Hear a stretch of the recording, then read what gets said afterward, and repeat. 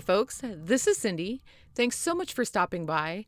In today's video, we're going to be coloring the Hero Arts Nasturtium stamp set. I'm going to be doing some no line coloring and I love this stamp set because you could easily make a whole set of cards with these and they would be really quick, really easy. I had yellow on my mind today, so I colored these in yellow, but the sky is the limit with the colors for these uh, flowers, folks. I have a piece of X-Press Blending card cut down to four and a quarter inches by five and a half inches, and I'm going to be stamping this in the Hero Arts soft granite ink because I did want to do some no line coloring. You could use any light colored ink you like, even the Inkon3 fade out ink would be fabulous for this. I just grabbed the soft granite because that's what I had sitting out on my desk and it works perfectly for this. I'm going to be starting with the Copic in V12. I am going to use this for my darkest shade color. I'm adding that right down there in the center of that petal and bringing that out. I'm right up there on the tip of my marker, flicking that out. There are also some lines illustrated at the edge of these petals, so I'm adding some of that V12 in there pretty lightly, keeping those lines pretty thin. I'm going to bring in my Y38, go over the top of that V12, bring that that out a little bit and I'm going to finish this off with my Y35.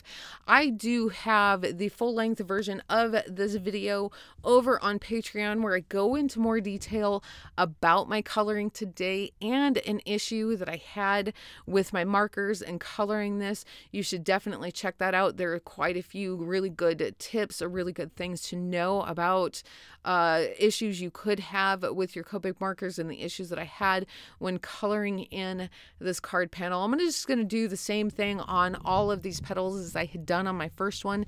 They're not very big, folks, so I can afford to go in on the entire flower with the V12, then go in with my Y38, and then finish it off with my Y35.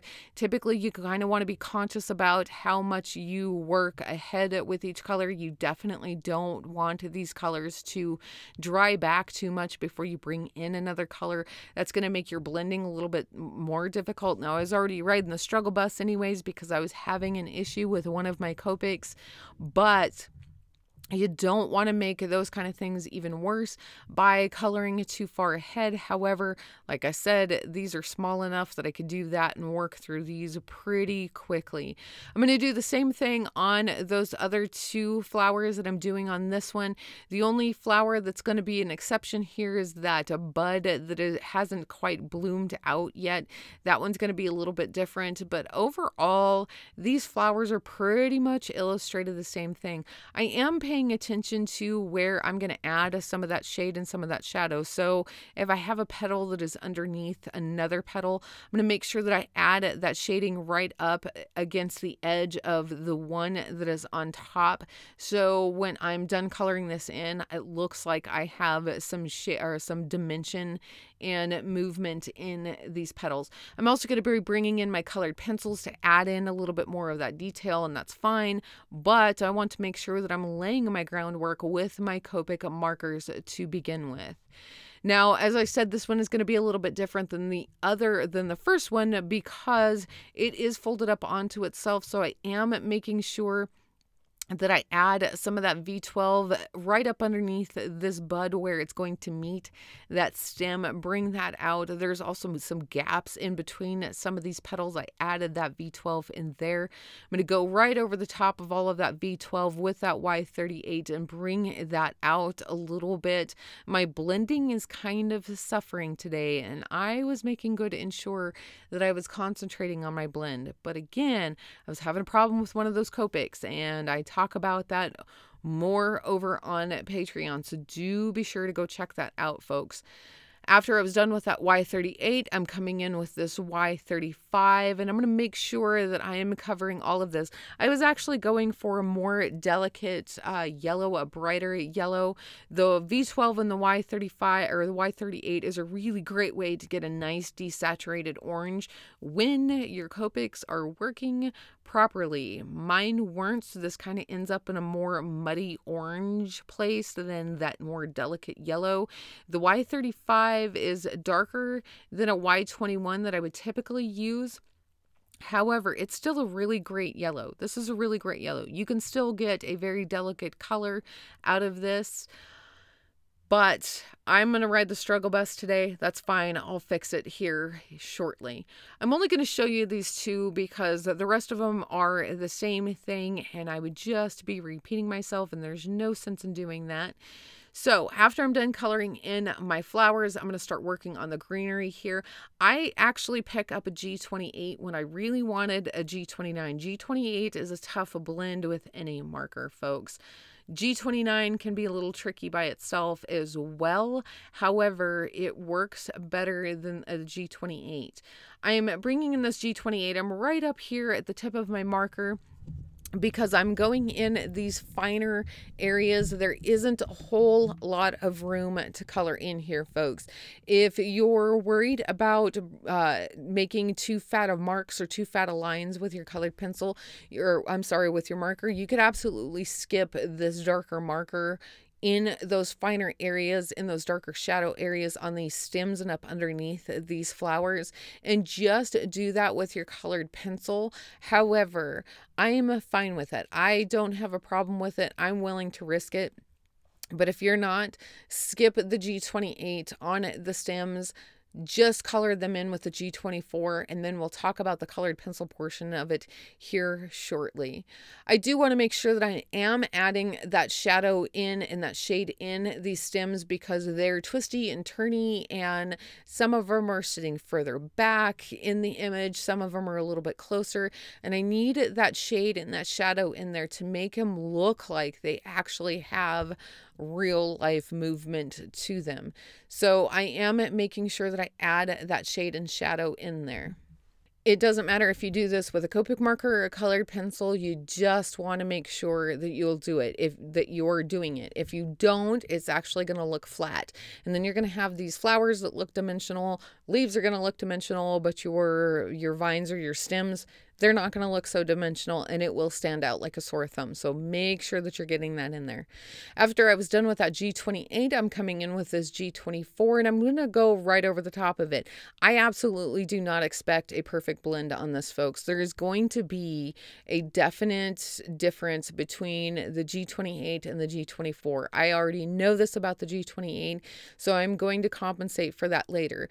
There are some of these areas that I will go over them a second time time with that G24 and kind of break down that G28 as much as I can, but I do have to be careful. I don't want to oversaturate it because they will start bleeding outside of those vines and it's going to be really hard to get rid of that and it'll be super noticeable if you can't get rid of it. I also noticed while I was coloring this in, I missed a few uh, shadow areas, some shading in there, so I am going to go back in and make sure that I have that done. And then I'm going to call that good good and I'm going to start working on those leaves. These leaves are kind of tricky, folks, because of that blend and they are a bigger surface than your stems or whatever the vines, I suppose, whatever you'd like to call them, they're going to be a lot more noticeable in the blending department. Now, there are some things that you can do that will help minimize that.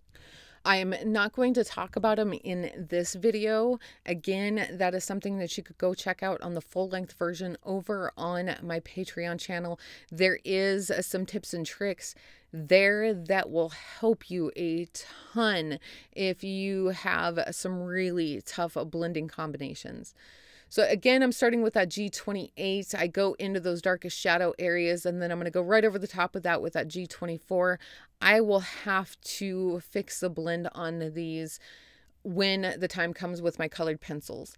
In the meantime, I'm going to start coloring in these flowers here. I'm starting with the Prismacolor and Parma Violet. I'm going in where I would have had that V12. I have a very sharp pencil and a super light hand. It does not take much to get to this Parma, Parma Violet down on this paper, and it's going to look purple until you bring in the mineral, mineral orange. Go right over the top of that Parma Violet with the mineral orange. Bring that out into that Y38.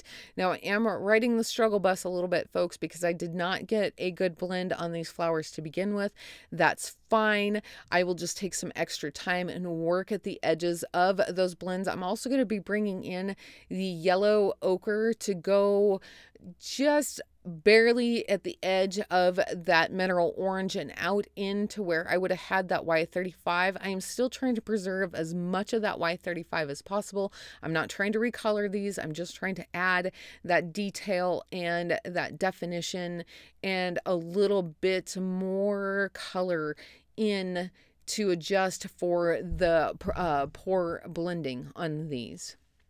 I'm also going to just do the same thing on all of these flowers that I have done on that first one.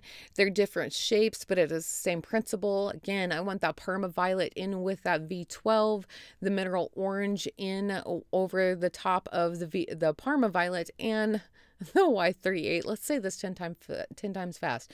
This is the pink envelope tongue twister. That's what we're doing today and I don't know how to talk. All right, so Again, coming in with that mineral orange right over the top of the Parma Violets up into that Y38 and then I'll bring in that yellow ochre to finish that off and then I can call those good. Overall, these went together really quick, pretty fast, even with having to put in a little bit more elbow grease to get them to work. But I really, really enjoyed the stamp set. I would love to see these nasturtiums colored in other colors. I think that they would be so darling and I think that they would be tons of fun in a card set. I didn't go for any major realism today, folks. I really didn't care. I just wanted to color these in and I wanted to color them in this yellow. And that was about it for me. But you could have a blast with all sorts of different colors. For my leaves, I am using the indigo blue in my darkest shadow area, and I am not going into all of that G28 with that indigo blue like I typically would. I'm actually just going into the very, very darkest areas with a very sharp pencil, super light hand, and then I'm going to bring in this Prussian green, and I'm going to go in with the Prussian green over the top of the indigo blue, the G28, out into that G24 to get that smoother transition. And then I'm going to call that good. I still had my paints out from last week's project, so I'm mixing together Distress ink and hickory smoke and black soot with some clean, clear water. I'm going to splatter this right across my card panel. I have a cheater mask covering that up because I did not want to get any of these on my flowers. You could, it would totally be fine, and this makes for for great embellishment, but I decided that I wanted to keep those flowers nice and clean. I also add some Nuvo Aqua Shimmer to the highlights of these flowers as well as a Sakura Clear Glaze pen to the centers of my flowers. And then I am going to call that good. That is it, folks. We are done. We are good to go. I have more links down in the description below as well as over on my blog. I will have a Patreon linked down below so you can definitely go check that out. I hope you enjoyed my project today. If you did, hit that like button and share it with your friends. Also, be sure to subscribe to my channel if you haven't already and tap that bell next to the subscribe button so you can receive all notifications. Thanks again so much for stopping by. Until next time.